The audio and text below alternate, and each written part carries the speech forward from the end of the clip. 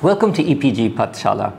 This paper is the philosophy of law. The current module is entitled Disability Perspective on Key Legal Concepts. The objective of this module is to gain sight of the disability perspective of legal concepts such as humanness, equality, and legal capacity. This module was written by Amita Dhanda at NALSAR. I am Akash Singh Rathore from LUISS University in Rome.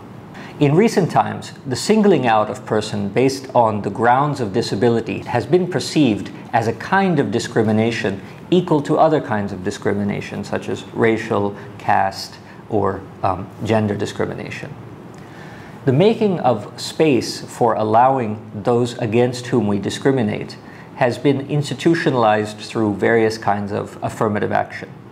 In terms of disability, the key a moment for introducing the proper legislation to prevent discrimination of the disabled is by incorporating the disabled perspective into the normative conception of law.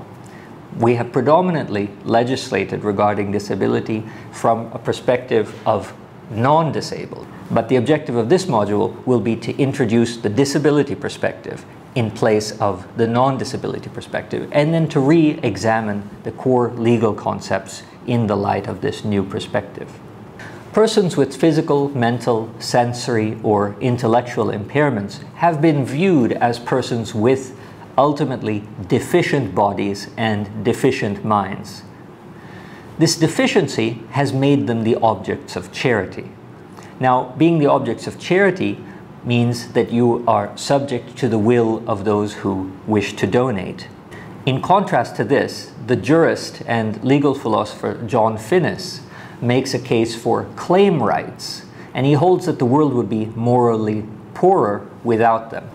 Now, what is the difference between being an object of charity and having claim rights? Well, even where persons with disabilities were seen to have a right, for example, a right to welfare, this right couldn't be demanded without embarrassment, without shame.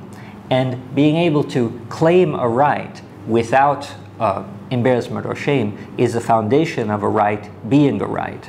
So what Finnis has suggested is that we should reconceive what uh, is owed to the uh, people who are disabled, not on the basis of what we are just charitably willing to give them, but by contrast, we should reconceive our fundamental rights as rights that they have a legitimate claim to.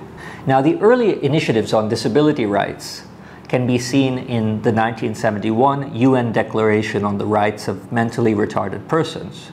This adopted a very con concessional model of rights, as it only wanted mentally retarded persons to be provided rights, and I quote, to the maximum degree of feasibility. So it's suggested in 1971 by the United Nations that um, so-called mentally retarded persons, that was the nomenclature in use at the time, so-called mentally retarded persons should be able to enjoy the same rights as others, but only to the maximum degree of feasibility. So this is a very weak uh, uh, sense of, of rights. It certain, certainly doesn't satisfy John Finnis's conception of a claim right, which is robust and on an equal par with every other human being.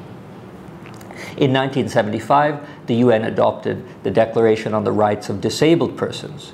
Now, this sought self reliance and non discrimination, but it sought these not in absolute terms, but once again in somewhat relative terms. Some equalization rules were initiated in 1993, which mentioned civil and political rights, but it primarily pressed for negotiable social economic rights. So, what's the difference here?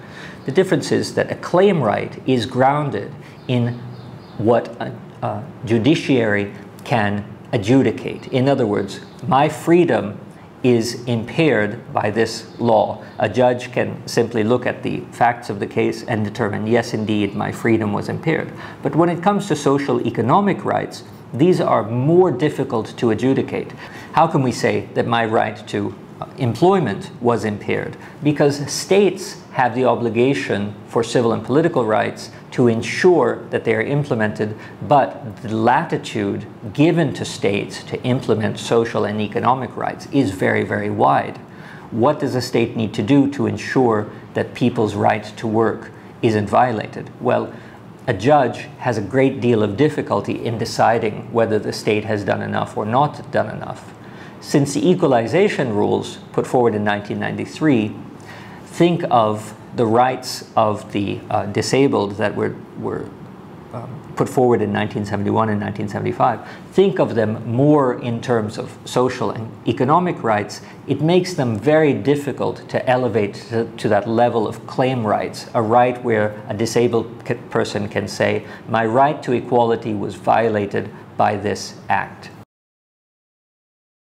So eventually, through the adoption of the disability perspective, this weaker version was um, augmented so that we've established a more uh, promising rights-based regime in terms of disability. The goal of obtaining formal and substantive equality by guaranteeing all rights to persons with disabilities on an equal basis was finally put in place in 2006 when the United Nations General Assembly adopted the Convention on the Rights of Persons with Disabilities. So remember this, the, Conven the Convention on the Rights of Persons with Disabilities. We'll refer to this as the CRPD, adopted in 2006, the CRPD. So what happens with the CRPD in 2006 compared to the 1971, 1975, and the equalization rules set in place before this time? Well, the dominant legal regimes operated on the qualification model. That meant persons were defined as human if and only if they possessed the requisite qualifications. Persons with disabilities, as we discussed earlier, were viewed as deficient, as deformed, as incomplete, and consequently they didn't qualify, according to the dominant legal regimes, as fully human persons the qualification model had not been challenged by any of those earlier declarations um, prior to the CRPD. The UN equalization rules that we mentioned constituted persons with disabilities basically as equal in theory but separate in practice. So what happens with the CRPD is that we begin to reinvent this conception, this legal concept of who qualifies as a human. The CRPD recognized that disability was a socially evolving concept. By defining disability as diversity, the CRPD moved away from the language of deficiency and toward a language of pluralism, of difference. So prior to the CRPD, we always saw disability as a kind of deficiency. Through the CRPD, this language changed to understand disability as difference. Now, this couldn't have happened without introducing the disability perspective into the process of legal drafting. The disability perspective on the human is an inclusive perspective. This construction of the human should help in rendering visible people with minds and bodies which do not accord with the dominant human prototype. So just take it, um, uh, the simple example, uh, I don't suffer from any sort of physical uh, disability. So if I'm going to define the nature of the average person, my perspective is obviously going to be inflected by the fact that I don't recognize disability in my own uh, life and experience. If, however, the same articulation of what does it mean to be human were presented by a person who is disabled, the outcome is going to be substantially different. In order to regulate or legislate on disability in terms of capacities or equality or other fundamental rights, liberty, if we don't incorporate the disability perspective, the outcome is going to be radically different because we're going to conceive of disability as deficiency as opposed to difference. Now, we've discussed humanness. We're going to discuss certain other uh, crucial legal concepts like legal capacity, equality, and liberty from a non-disability and then from a disability perspective. So let's talk about the denial of legal capacity. The denial of legal capacity has primarily been effected on persons with intellectual and psychosocial disabilities. In other words, we think when we have no uh, intellectual or social disabilities that we are normal and therefore enjoy legal capacity. But those people who have certain intellectual or psychosocial disabilities are therefore abnormal and they are denied capacity. This denial usually occurs through three different kinds of formula. The first denial of legal capacity occurs through incapacity by status. That means that the disabled people lose capacity simply because they are disabled. So, in other words, there's no mediating test. Why, for example, am I granted legal capacity? Just because I'm assumed to be normal. As a consequence, the person who is assumed not to be normal, in other words, having a disability, automatically loses legal capacity. This is the denial of legal capacity by status. Anyone who would reflect upon this can see that it violates certain fundamental uh, rights. A second kind is the incapacity by outcome. What this suggests is that the status doesn't deprive the disabled person of legal capacity.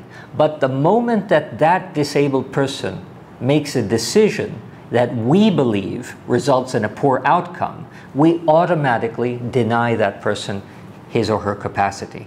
There's a very clear example here. You can think of certain psychiatric patients who decide at one moment that they do not want to be medicated anymore. So before that time, perhaps the medication wasn't forced upon them. If we're not forcing medication upon someone, that means that they retain the autonomy of legal capacity. In other words, the decision is theirs. But if they should actually take that decision and say, I don't want medicine, we don't recognize their capacity. Rather, we remove their capacity. We say, well, this person till now has cooperated and taken his or her medicine, but since this person doesn't want to take medicine anymore, and since we know the outcome will be bad, therefore it must mean that this person does not have legal capacity. This person is not of sound mind to make that decision. So this is another way in which legal capacity is denied to disabled people. The third way is functional incapacity. That means incapacity due to an assumed inability. Take, for example, the ability of certain people who are disabled mentally or physically. We don't allow them to engage in the signing of contracts. In some countries, we don't even allow certain uh, types of disabled people to be married. They can't even enter into a marriage contract. Or they're sterilized so they can't produce uh, children.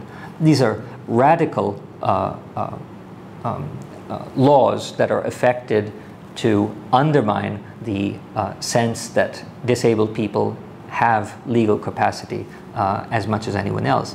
Now, there have been efforts made to improve the implement implementation of the functional tests. In other words, scientific studies have been conducted as to whether people whom we think are legally incapable are in fact legally incapable. The results of these studies have largely shown that when we presume the legal incapacity of a disabled person, it is more often the projected prejudice of those decision makers than it is based on the actual capacity of the person whose capacity has been revoked.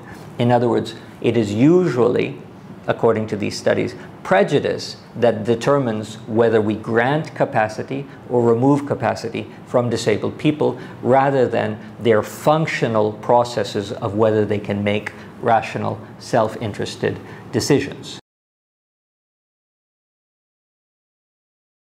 So due to the fact that this presumption of incapacity was due to prejudice, it makes it quite clear that the pronouncements of incapacity are, are being made from a non-disability perspective, right? It has to be so.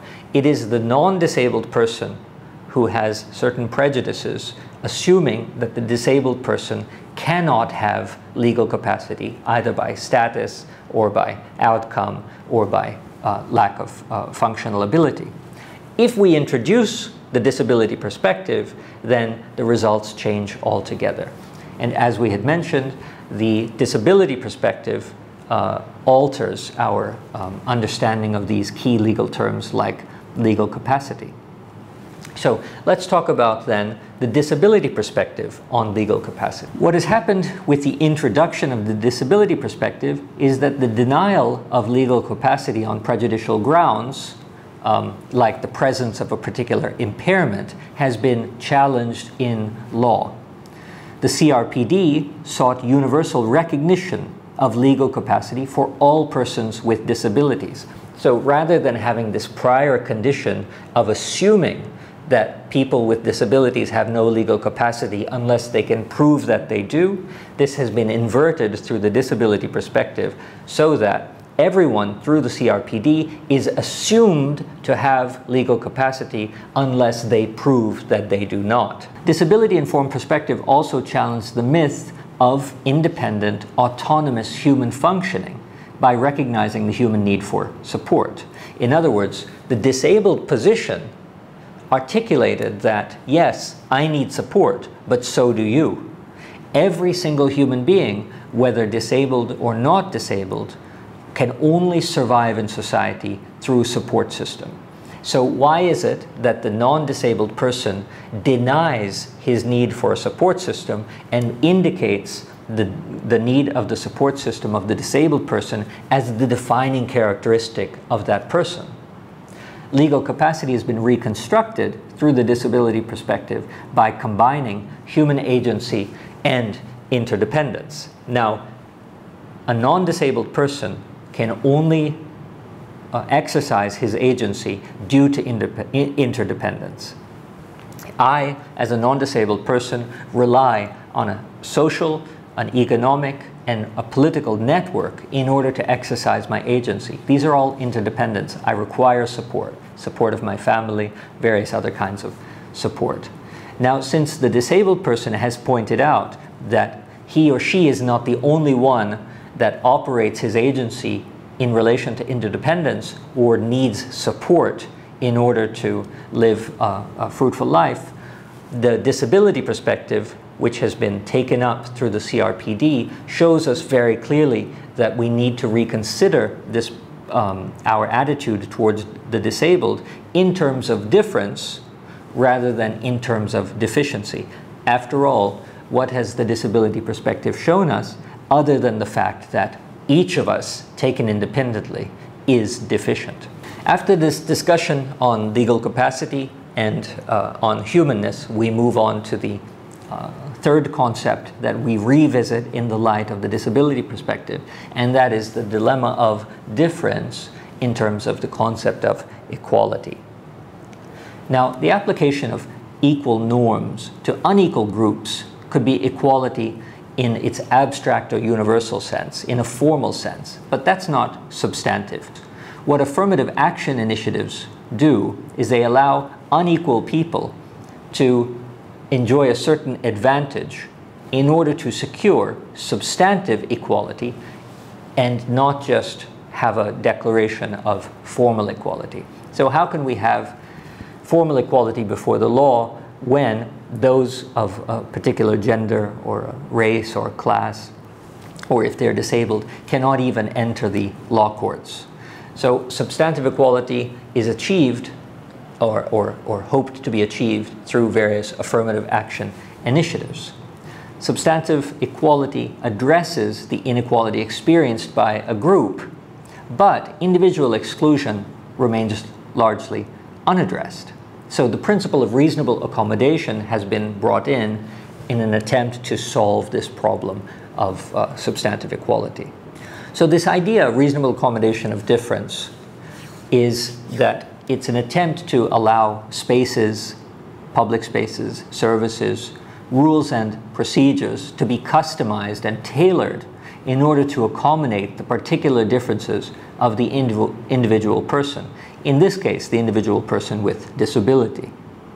The objective of the principle is to strive towards equality of outcome to the maximum extent possible. Equality of outcome. In other words, not just formal equality, but that the outcome after this um, uh, practice is uh, attempted to be enjoyed is um, substantively uh, tending towards equal.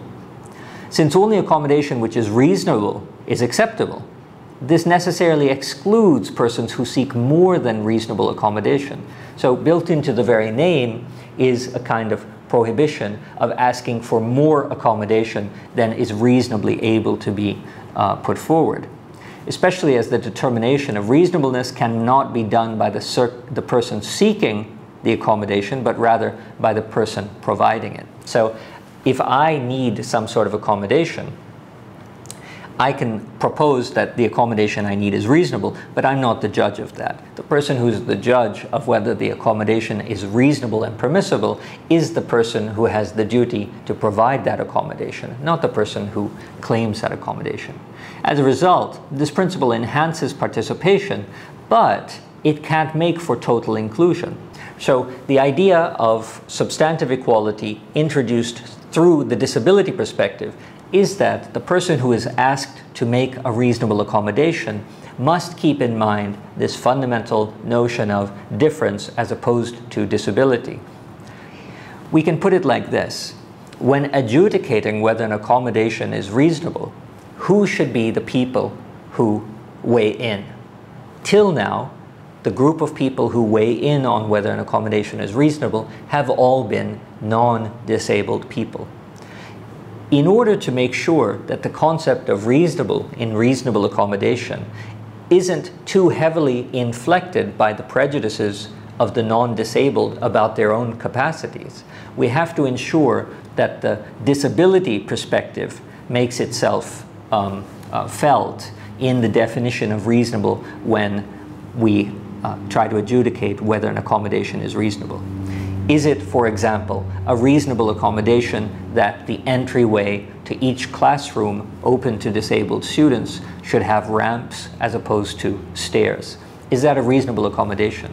Well, perhaps from the point of view of perfectly able-bodied walking people, we see this as how can it be necessary? After all, only one person is in a wheelchair. But if, if we were to take the perspective of people in wheelchairs, the position changes quite radically. Obviously, the ramp is a reasonable accommodation because it's totally unreasonable to expect someone to take a wheelchair up a flight of stairs. So the introduction of the disability perspective completely alters our sense of these legal concepts, such, of, such as reasonable capacity and equality. Now let's move on finally to the concept of liberty we begin with the mainstream understanding of the deprivation of liberty before we move on to the disability perspective on liberty. The liberal articulation of liberty premises being free as the default state of humans. In other words, the deprivation of liberty needs to be justified. So in the liberal understanding, the default state for every individual is free. So if you're going to remove that freedom, then that removal has to be justified. Generally, deprivations of liberty can only be done in order to protect society at large. Legal regimes have been institutionalized with respect to persons with disabilities, both to prevent harm to others, so this mainstream idea of depri deprivation of liberty, but there's an added element, which is for their own welfare.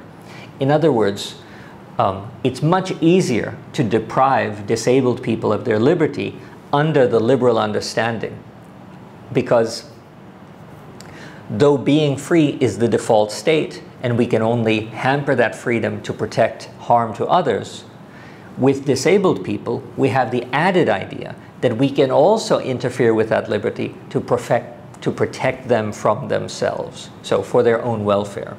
Welfare-based deprivations haven't been perceived in the mainstream literature as deprivations of liberty. from the disability perspective, you can see that that's entirely incorrect.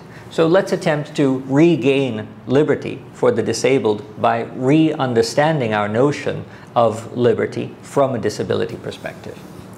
Welfare prompted institutionalization would also require fair processes or safeguards under the CPRD. That's already been required.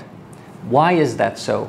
Because the fundamental guarantee is equal treatment with all other uh, uh, differently abled people. So non-disabled people should be treated in the same way as disabled people because disabled people aren't conceived as deficient, they're conceived as different. If welfare prompted institutionalization then is going to be imposed on disabled people, then the very same standards that apply to non-disabled people should be applied to disabled people. In other words, I have um, also got uh, uh, to protect myself from a certain amount of harm that I may uh, uh effect upon myself. I smoke, I might uh, drink, I might engage in other sorts of seriously dangerous practices. But the state doesn't choose to intervene in all of those cases. And yet, if a psychiatric patient decides that he doesn't want to take his medicine, the state immediately intervenes and claims that this person does not have capacity. The disability perspective says don't act so quickly. You have to recognize that the welfare idea has supplemented the harm idea to such an extent that the um, disabled person's uh, liberty is immediately revoked, whereas the non-disabled person's liberty is only revoked after a great deal of adjudication and um, deliberation. Now, under the CRPD, the deinstitutionalization of disabled people, in other words, we had uh, for many decades homes and institutions where we would put disabled people against their will, claiming that it's for their own good. The CRPD realized that the measure for determining what's in someone's self-interest shouldn't be so much lower for a disabled person than it is for a able-bodied person. For example, I walk around on the streets uh, smoking a great deal. Why am I not immediately institutionalized in a smoking rehabilitation program? Because I'm acting in such a way that is harmful to myself and others. We don't do that because I'm not disabled. But if a disabled person is engaging in an activity that we regard as potentially dangerous to him or herself, they're immediately institutionalized.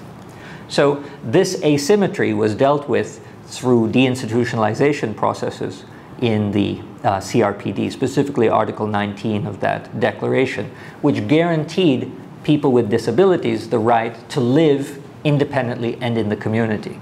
So we could no longer start with the overall welfare idea that we're going to lock up all disabled people because it's in their own interest. Rather, we start from the disability perspective. Everyone with disabilities is just as free as everyone else to remain in the community unless and until certain harm comes to the community as a consequence. That means that we employ the exact same standards for disabled people as we do with non-disabled people before we infringe upon their liberty. Traditional discourses only sought fair process safeguards for entry into institutions, what I've just described, that um, the entry into institutions has to be fair. So since we don't grab smokers off the street and stick them into mandatory rehabs, why are we grabbing people in uh, wheelchairs and sticking them into institutions? The disability perspective showed us that we need to mod moderate that such that the same standards is applied in terms of entry into institutions. But there's a further, even more robust idea that comes out of the disability perspective, and that is in the process of deinstitutionalizing people. In other words, exit from institutions. And this goes not only for uh, disabled people leaving institutions for disabled people, but also for prisoners leaving prisons. What we've learned from the disabled uh, community is that there are certain standards of preparedness that need to be put into place in order to ensure that exit from institutions is done in a manner where people can actually enjoy the freedom that we are granting them. So, in conclusion, what have we done? What have we seen through this disability perspective? We have reconstructed four main legal concepts what it means to be human, what legal capacity is, what equality is, and what liberty is. And we've seen that these need to be reconceptualized in the light of the disability perspective. The needs and necessities of all humans stand addressed if the qualification model, you know, whether you qualify as fully human, is abandoned, and instead a fragility or pluralistic model is implemented as the core of what it means to be human. So once humanness is universally perceived, then we can move on to the next concept, legal capacity. Legal capacity can be universally presumed and constituted from the twin strands of agency and interdependence. Till now, based on the old model, agency was removed from the disabled and they weren't regarded as legal capacity. But when we see the core of humanness in fragility and interdependency and difference rather than some fit the mold and others are failures, then we can also see legal capacity as a proper use of agency in light of that interdependency that all humans in their various differences are subject to and known as the human condition. The principle of re reasonable accommodation allows for inclusion of very diverse uh, kinds of, of, of people by the individual customization of various norms. So we'll have a normative set of uh, universals, but the idea of reasonable accommodation can always be uh, put in play in order to accommodate a, a, wide variety of different kinds of human beings in order to make that norm inclusive of all types of, uh, of persons. And finally, welfare-based institutionalization should be subjected to a high degree of scrutiny. And as we had mentioned, exit from institutions needs to be driven by certain standards of preparedness. We had not had any clue or idea about exit conditions until we learned the disability perspective. So the disability perspective in this particular case can also be seen to enlighten us about new universals and new norms. After all, it was only because of the disability perspective on exit from institutions that we realized fully the need to prepare prisoners for proper exit before they're reintegrated into society at large.